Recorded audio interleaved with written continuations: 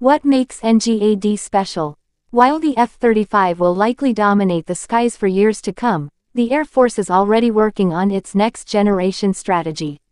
First conceptualized in 2014, the NGAD program is designed to achieve air superiority. The five distinct technologies that will be prioritized in the fighter's design are advanced weapons, stealth, digital design, propulsion and thermal management.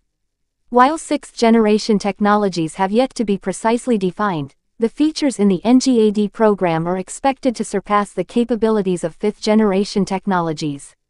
Importantly, AI and unmanned aerial vehicles, UAVs, will be incorporated into the NGAD.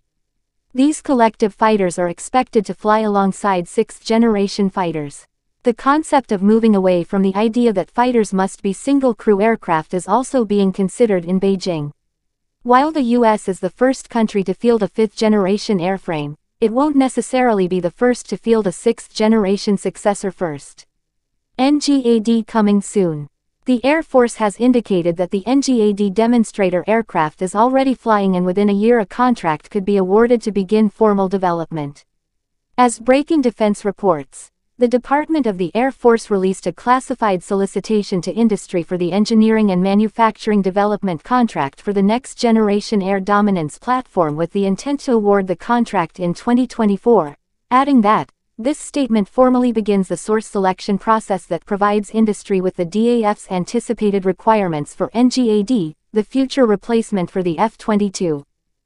Given the current threat climate, the introduction of the military's next-generation fighter program is critical to maintaining America's dominant air capability.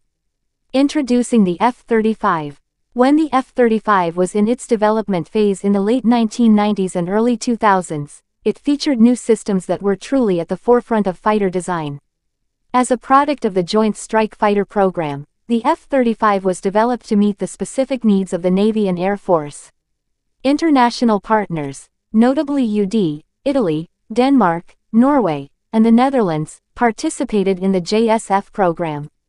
In the late 1990s, Lockheed Martin and rival Boeing were selected based on their demonstrator concepts. Ultimately, Lockheed was selected as the winner, and the F-35 entered the development phase. F-35, key details. The F-35 is designed to fly at speeds of up to Mach 1.6 times the speed of sound, which can be achieved with a full internal payload. With nearly twice the internal fuel of its predecessor, the F-16 Fighting Falcon, the Lightning II has a larger combat radius. Because the F-35 is so well armed, it is much heavier than previous light fighters. The lightest F-35 variants weigh more than 29,000 pounds empty.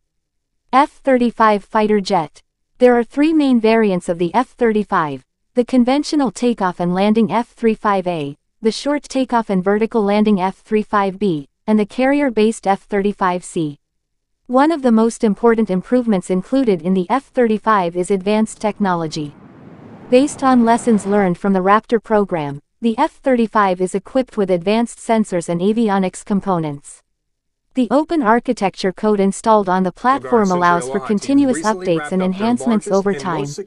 In addition to these advanced avionics, the F-35 has a very low radar cross-section.